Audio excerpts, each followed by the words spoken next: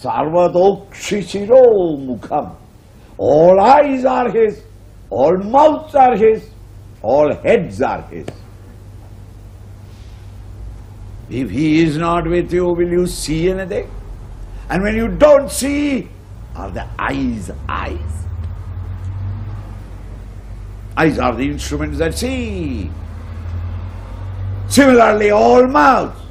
It's absurd to say that. The French language is, you know, German language, you know, language trouble. English language. And American says, then what is it? British English we don't want. We want American English. Okay. What is okay? Anything you like. See?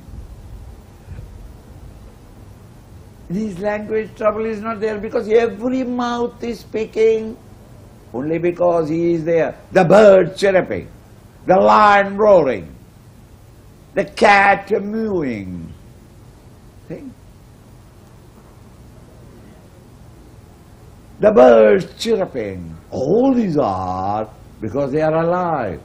If they are not alive, how will they communicate in sound?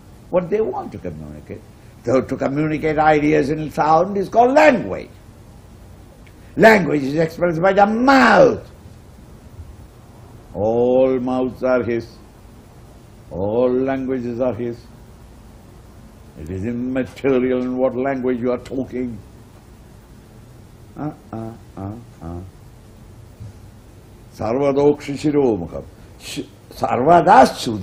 Loke. In this world, every pair of ears is hearing because he is presiding over your ears. Not the outer ear and the inner ear. I am a ear, nose, throat specialist. What can the specialist do? My dead father make his ears all right so that I may tell him, ask him, where have you kept the will?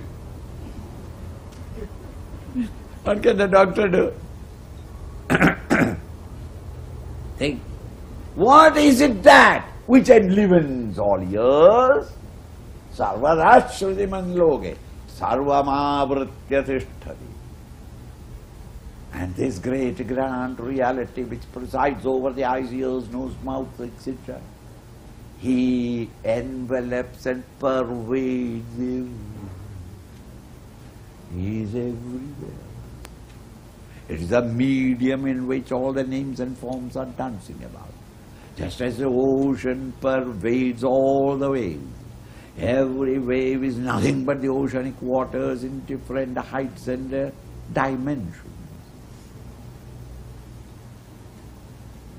The whole universe is He only.